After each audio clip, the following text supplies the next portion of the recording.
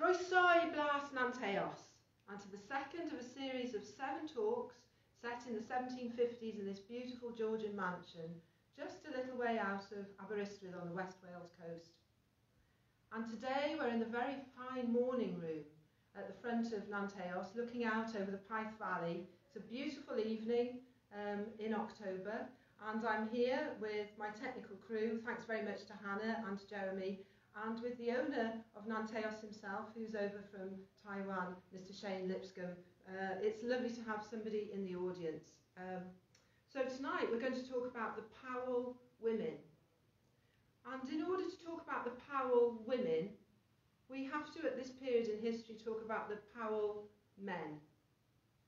So the two Nanteos books to date, The Dipping Pool and The Shadow of Nanteos, uh, deal with two brothers, the older brother Thomas Powell, who inherited Nanteos back in the 1730s and who started building this wonderful Georgian mansion, Palladian mansion, with his wife's money.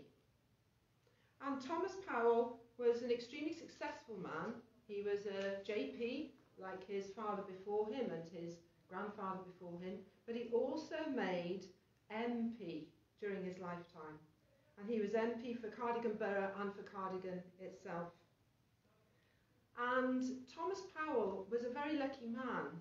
He was a nice looking man, according to the portrait which is in St Fagans, down in South Wales, the wonderful museum, St Fagans Museum of Rural Life. And he secured for himself what every self respecting Welsh gentry man wanted at that time an English heiress. And the English heiress he managed to get his paws on was a woman called Mary Frederick. Very wealthy woman, huge dowry, and her grandfather had been the mayor of London and also MP for London. And her father, too, and her brother were all Welsh, very wealthy merchants in London. And so Thomas managed to secure a marriage with Mary Frederick. She was no looker, but he was. And uh, the portrait in St Fagans shows them playing music together. He has his beautiful violin under his arm, very handsome young man, and she, not so handsome, she has too many chins to be fashionable, as she says herself in the dipping pool, but she is at the harpsichord. So, for all accounts, um, they had quite a happy marriage. Um, and there are many of their letters written actually by them and to them in the wonderful archive in the National Library of Wales in Aberystwyth. So researchers and novelists such as myself, we can actually go there and get hold of material that was actually written at the time by the people involved uh, who we're dealing with. So that's a fantastic archive. And though they seem to have a relatively happy marriage, unfortunately it didn't result in any children. So poor Mary Frederick, uh, when her husband died very suddenly of apoplexy, which we now know to be, I would, I would say, a stroke probably, or a heart, heart attack, or maybe um, some sort of um, hemorrhage, something like that. Uh, he died very suddenly in London, actually on the street. And so Mary in 1752, although her money, her dowry, had built Nanteos, she had to leave the house.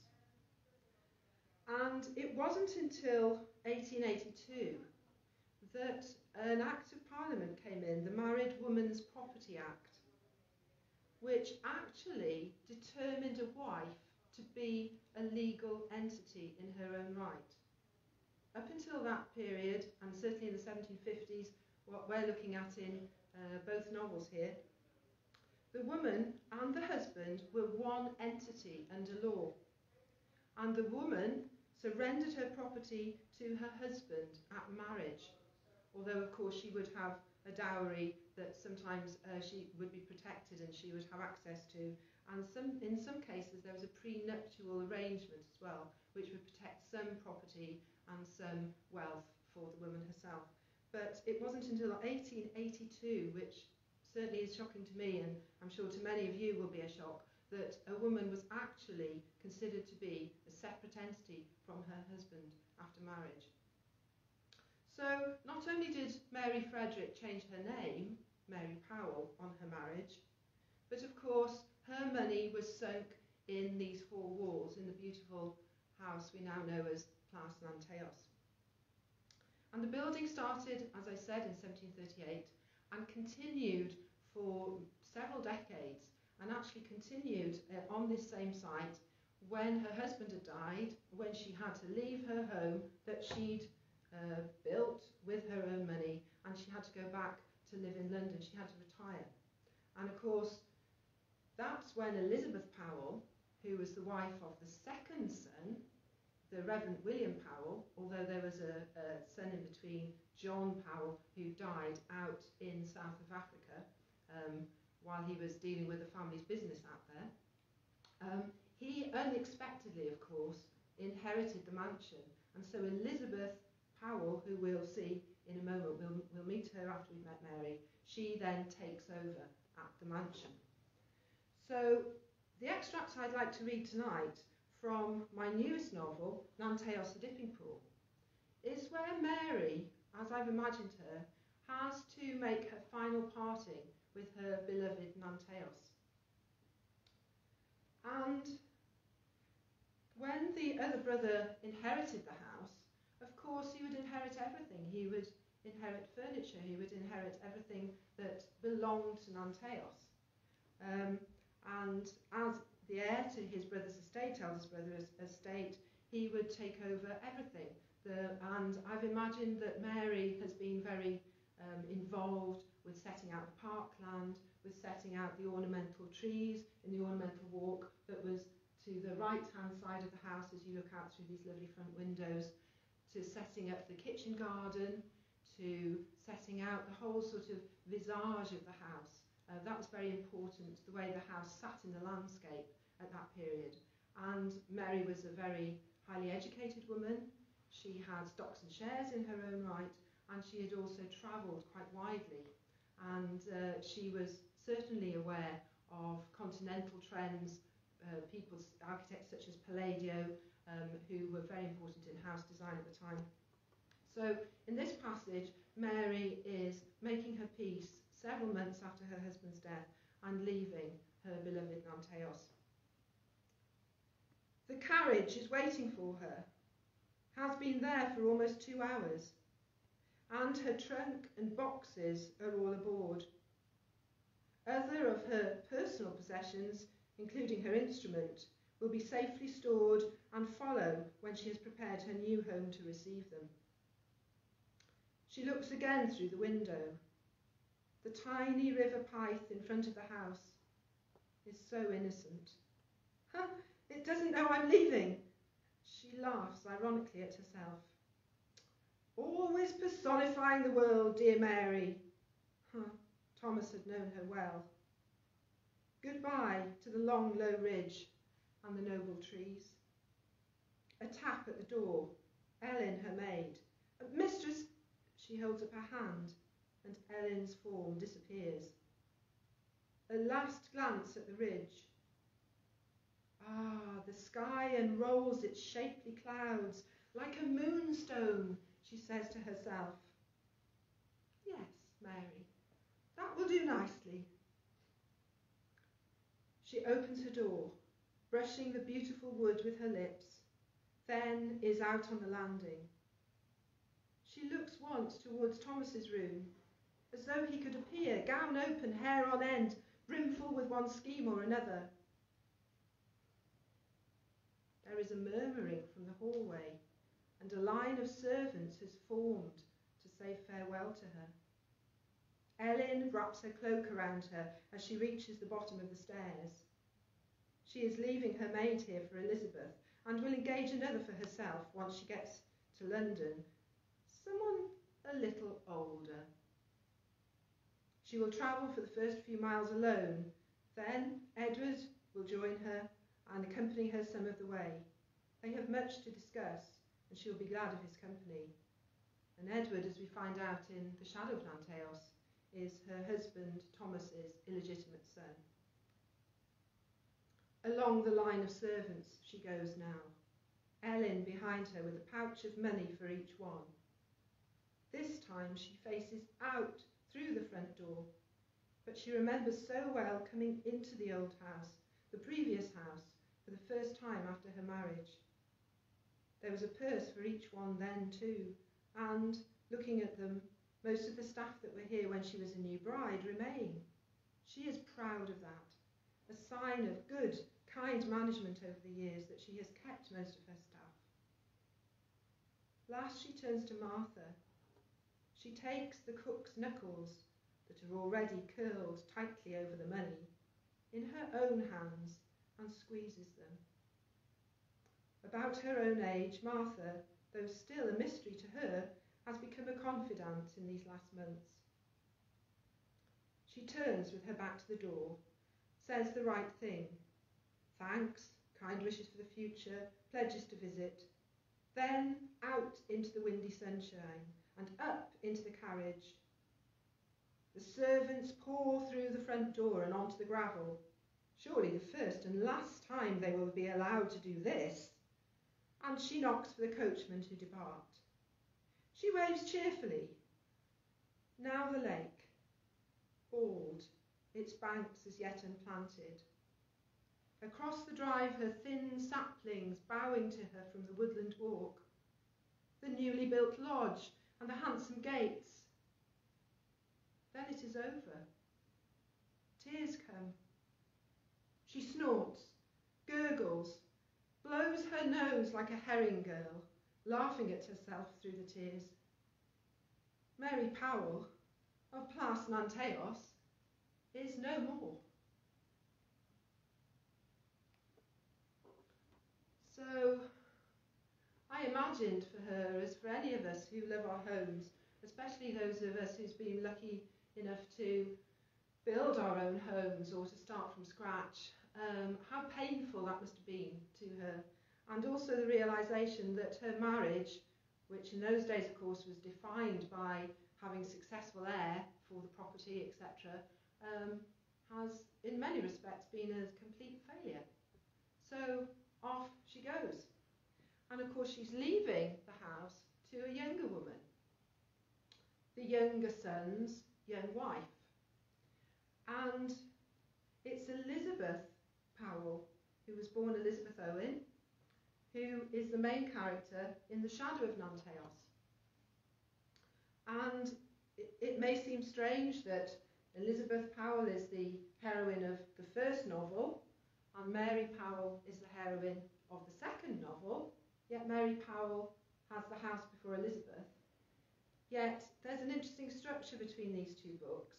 Um, it's been quite a challenge to write. I've had a lot of fun, but the narrative arc of The Dipping Pool is about twice the length of the narrative arc of The Shadow of Nanteos. And so The Dipping Pool, the second book, becomes both prequel and sequel to The Shadow of Nanteos, carrying on the story which was left um, so melodramatically, may I say, um, at Nanteos at the end of the Shadow of Nanteos. So, not as wealthy as Mary, not as English as Mary, not as well connected as Mary. Elizabeth Owen, nevertheless, is a very interesting figure. She was a clergyman's wife. William, as the younger son, was a clergyman, very successful clergyman, who was um, at Oxford, and then he was actually made a deacon at uh, Lincoln Cathedral, so I believe. And by the time they inherit Nanteos, they've lived in many different places, with William uh, being uh, vicar, etc., around the country. And Mary has three children when she arrives, uh, sorry, Elizabeth has three children when she arrives at Nanteos in 1752. So she's a very, very different woman. She comes from near Llanbrynmair up in North Wales, and although her mother was from a very powerful family, um, her father was from quite a humble, although he was a gentleman, he was from quite a humble property, which we can still see now, a beautiful old farm, I would say going back to late medieval times, called Plas Rhiw Saeson. And her father failed to matriculate from Oxford and was a minor poet. And of course, um, he married in his own way, he married an heiress from the great house in Tywyn called Ynys Maen So Elizabeth is not of the same stature as Mary, and she would not actually have impressed the local women and the local gentry families in the same way that uh, Mary Frederick had done. However, she has been successful in her own way in producing three children, uh, two of whom were boys. And of course, as I imagined Mary's grief and trauma and the fact she has to keep her dignity as she leaves the house for the last time as mistress, so I imagine um, Elizabeth's tremendous excitement as she arrives at the house for the first time. If you've been a clergyman's wife and you're the youngest son's wife, you would never have expected to inherit the family pile, particularly not a brand new one, actually still being built. The builders were still here when they moved in. And in fact, there's a pipe, a lead pipe, with her husband's initials as the person who finished the house around the 1750s. So Elizabeth really has landed on her feet. So at the beginning of the book, we see them coming across the brutal um, wastes of the Cambrian Mountains on their way to take up their inheritance. And of course, in those days, it was before toll roads, long before toll roads. And in many parts of Ceredigion, Cardiganshire, it was, as it, it was known then, the roads were so terribly bad that you couldn't actually drive a wheeled vehicle. So, for instance, they had to take the ore down from the mines on pack horse. The hatter women had to take their um, produce to the markets in the east via pack animal. So at the beginning, Elizabeth's coming up from the south of England to take her inheritance, and she's dressed in rough travelling clothes, and we see her from afar. And then gradually, as the chapter progresses, the view, if you like, gets closer and closer and closer. So by this point, we actually see they've arrived at the lodge, which is at the bottom of the beautiful drive of Nanteos. And at the lodge, this is where the transformation from Elizabeth, Powell, younger brother's wife, to the new mistress of Nanteos begins. And as she's changed out of her clothes, stripped down from her travelling clothes by her maid, Ellen, which as you remember probably was Mary's maid, and she transforms into the new mistress. And of course, any woman who's ever been bought a wonderful house um, I've just been bought a lovely um, little farm near Llanrhystud, and I remember the way I walked in there, not quite as Elizabeth, but uh, with certainly with glee and anticipation on my face. So here she is, and she's being transformed from younger brother's wife into the mistress of Plas. A lady's maid is washing the seated Elizabeth. Her soiled travelling clothes are in a pile by the door, and her shift is pulled open to face, neck, breasts, and under her arms can be carefully sponged. The girl takes her mistress's feet from the warm basin and washes each in turn, scented water trickling between the toes and back into the basin. Then Elizabeth crouches over the water, her petticoats lifted, and washes herself as the maid shakes out her fresh clothes. The towel is new and soft as she pats herself dry. With a great effort of will, she stands still as a tailor's dummy as the girl dresses her in a fresh shift, ties on her hooped petticoat, and pulls on her stays. As the girl bends to tie the ribbon over her stockings, she lets out a gasp. Elizabeth looks down and laughs as the girl's head appears, red and flustered from under the layers of undergarments. The mark? Elizabeth says, smiling. The maid nods, biting her lip. All as God intended, I assure you. I had it from birth. But the girl stands, frozen to the spot. Don't worry, Ellen, Elizabeth says. I am no witch, I promise you. Still the girl has not moved. Come now, we are keeping people waiting. Tend to your work. Impatiently, she lifts up her own skirts, and Ellen bows down again, holding her face under the clothes. Finally, Elizabeth is laced into her bodice, stockings on, neatly tied with ribbon, and new shoes on her feet. As her hair is being dressed, William comes to stand in the doorway, watches her. She is quivering with excitement as she smiles at her husband from the mirror. Okay, I think I need to press on here. Um, so um, from that point onwards, of course, she takes on not only the responsibility of the house, but the joy of being her own mistress. But as I said before, she isn't quite prepared for it. So in terms of the clothes there, at that period, um, an 18th century woman of her standing would not actually have been able to get dressed by herself. I had a wonderful experience um, in the Victoria and Albert Museum I was trying on some 18th century clothes and it was late and the museum was about to close and I thought, right, okay, I'll get out of these now. And I'd had a, I'd had a passerby lace me into the bodice um, and I had this big hoop and then the skirt goes over it. Um, sort of think, think that sort of thing. They were wide on the hips rather than front to back. And I couldn't get out of my clothes. I really genuinely couldn't. And uh, I had to get, uh, when they came to close down the museum and flush us all out, I actually had to get one of the male guards, he was uh, very tickled by it all, I had to get him to unlace me and pull it off. So they actually could not get out of their own clothes. And I think that's an interesting thing to think of in terms of disempowering women. Men could. They, they were, wore formal dress, um, and they were helped by their manservant, of course, but they could actually physically get out of their clothes whereas women couldn't. So what I'm wearing now would have been something worn probably on market day by a farmer's wife. So I'm wearing a lot of wool, um, lots of different layers, so people would be would have been warm in the winter, I. I don't think they would have been dry in the rain because obviously wool doesn't keep out rain as, as the sheep attest. They hate rain, but they, do, they don't mind cold weather. Um, and one really interesting thing um, that would have made a difference for women. Very often people ask me when I'm doing readings, well, how do they go to the toilet? You know, how do, how do they manage, particularly ordinary people, when they were out in the fields, that sort of thing. Um, well, it was very easy for a woman at that period because they wore no, no pants, they wore no drawers. So what, what you would do is you would just lean down like that. It would be totally modest, it would be totally private, even if you were out in the fields digging mangles or something like that and you could go to the toilet, you wouldn't soil your clothes, and no one would see you.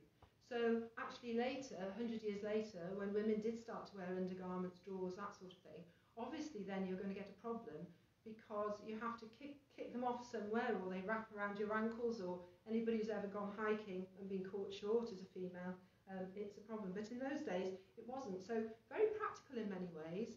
Um, and they would have had linen inside, so they would have washed their inside clothes, but things like this, like the apron, like I did today, you just sponge it down. So it's very forgiving, this Welsh wool.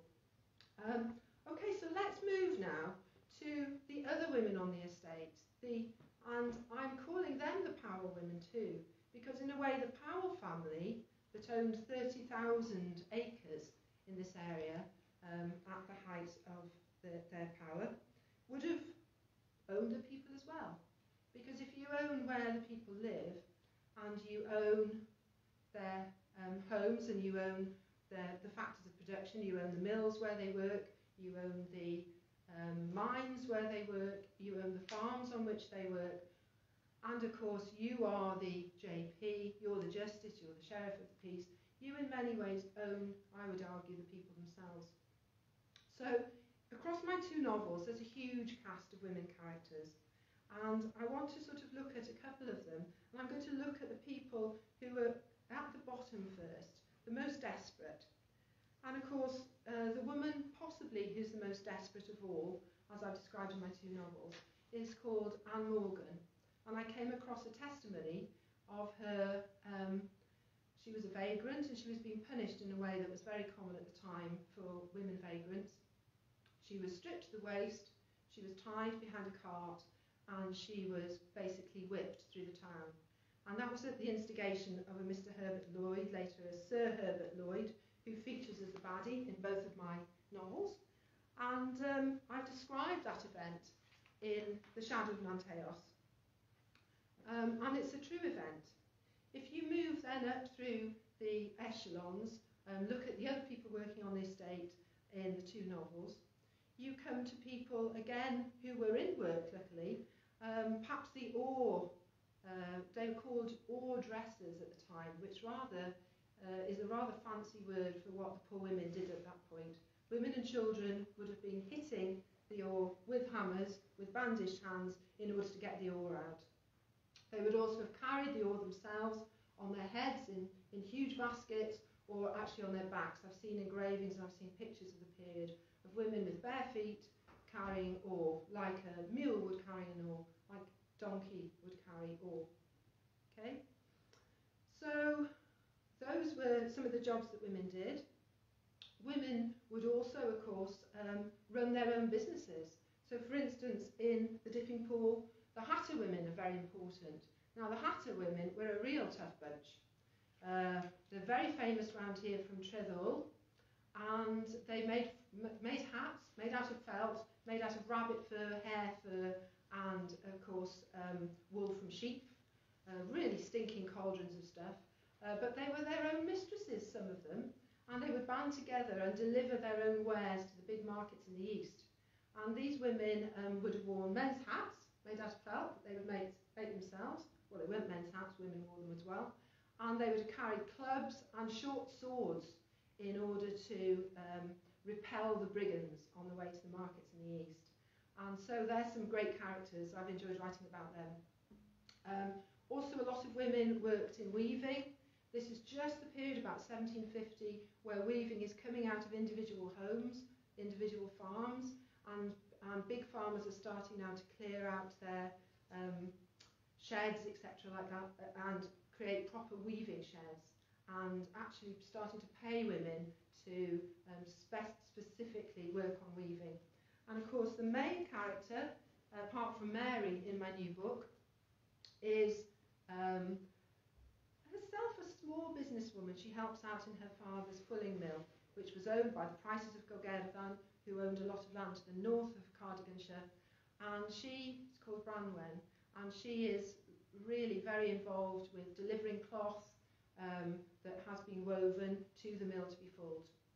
And of course, she wouldn't have been, as the daughter of the miller himself, she wouldn't have been involved in the rather heinous task of stamping the to clean the, the woven cloth before it was properly um, stamped and hammered uh, in a in vats of stale urine. So that was another job that you could do as a woman at the time. I just want to end with um, one fact. We need to think of most women working at this period, and I would actually suggest that even gentry women worked at this period because it was, as Shane would attest, as any manager of any big country house hotel would attest, it is a lot of work. And it is a lot of work to keep up appearances. And so even gentry women would find that most of their days weren't tied up in leisure at this period, they were tied up in managing their household and managing people's expectations. But in 1750, even punishments for crime could be gender based. And until 1790, women convicted of treason or petty treason could be burned at the stake, whereas men were drawn and quartered. It was considered unedifying to open up a woman's body in public. So I think we need to think of that sort of world as everything is different between women and men.